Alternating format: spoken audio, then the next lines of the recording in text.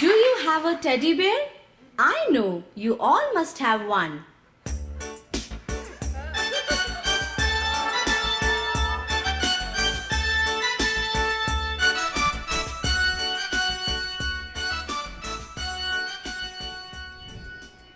This is a little teddy bear.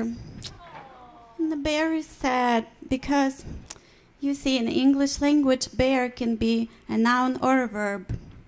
So when I was really tired and I wrote people an email, this is more than I can bear, well, I spelled it as B A R E.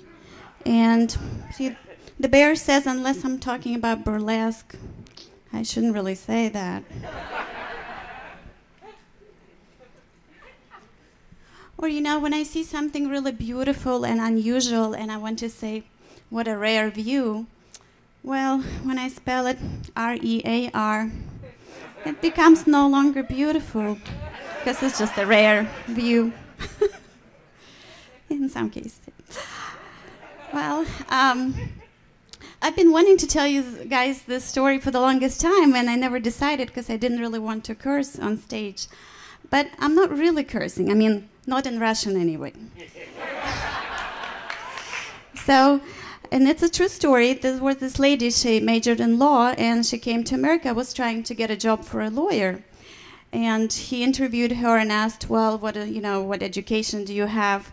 So, well, her English was still so uh, she tried to kind of say it more in Russian. And we say, um, like, law major, we say judicial, like, юридический, and it's abbreviated юр, like, kind of like you are. And then major sounds like fakultet, uh, faculty. And so when he said, What is your major? she basically said, You're. and, um, well, she didn't get the job. Poor thing. It's just, you know, sometimes two languages don't blend together that well. So, but a little bit about geography.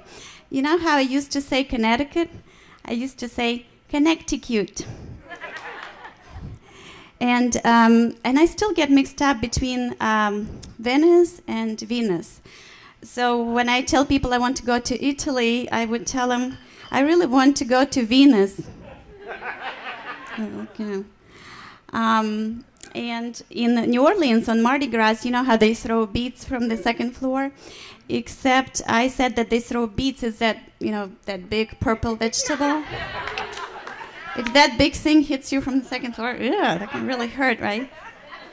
So, and well, then there was this word that I've seen it written, but I've never heard it pronounced. So I was taking oceanography in college, and someone said, What are you guys studying about right now? And I said, Oh, we're studying about these predators. He said, What? Do you mean predators? I said, Oh, that's how you say that?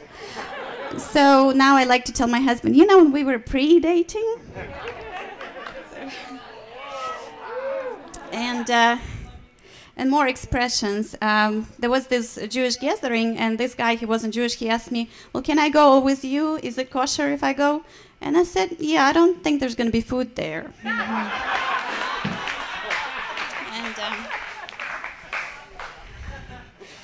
and um, and um,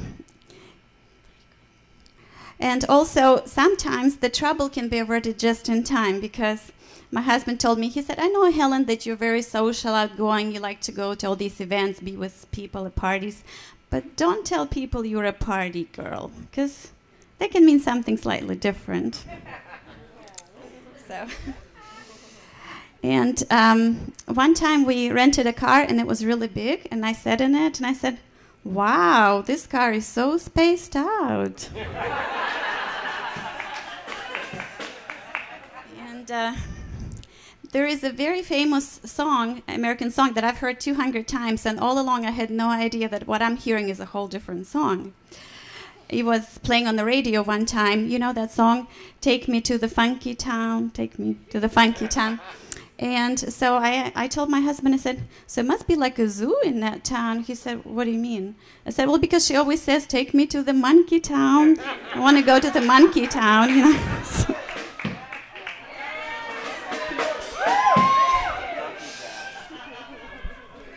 And um, and Well, unfortunately, from time to time, I still get mixed up between similar words like um, coach and couch. Uh, usually, though, you kind of know what I'm trying to say.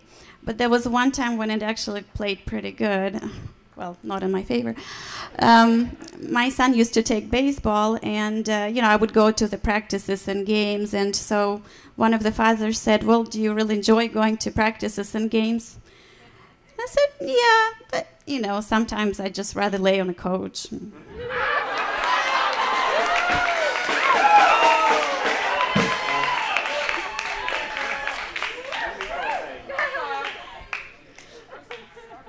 Um, now, one Russian friend shared with me recently, she got confused between passed out and passed away. and, well, there was this party, and a guy got really drunk, and, you know, he had to go to another room and lay on bed, didn't feel good. And someone walked in looking for him and said, Where is he? And she said, Oh, don't worry, he's just passed away. He, he's on the bed in a, you know, he's in a different room on the bed right there, passed away. He's okay, don't worry.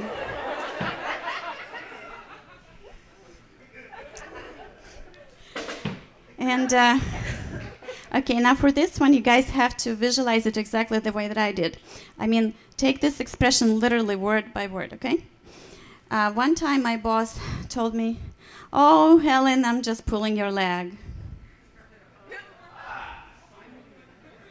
I was thinking, is this a sexual harassment?